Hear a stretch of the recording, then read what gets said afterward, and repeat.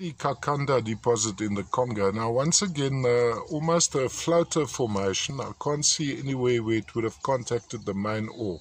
Crystalline right around, tiny cobaltoan calcite crystals of a grey pink. Now, what's interesting about these, when you look closer, when you actually zoom in, have a look at the still pictures. Now, all these guys are listed on eBay, where our traders SA Hot Rocks. So they are currently for sale if this is a recent video.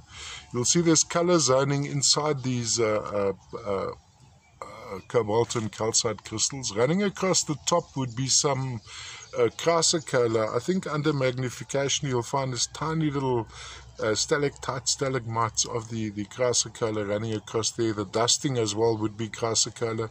Crystalline all the way around, made up of tiny cobaltoan calcite crystals from Kakanda. Um, usually on this particular section of Kakanda, I'd, I'd expect to find associations of malachite and kolwezite.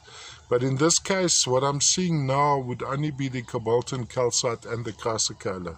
Size-wise, not super large, I think edge to edge.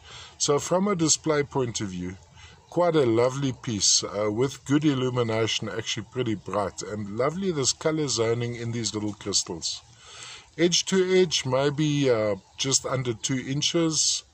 Height wise, also under two inches. Width wise, just over an inch.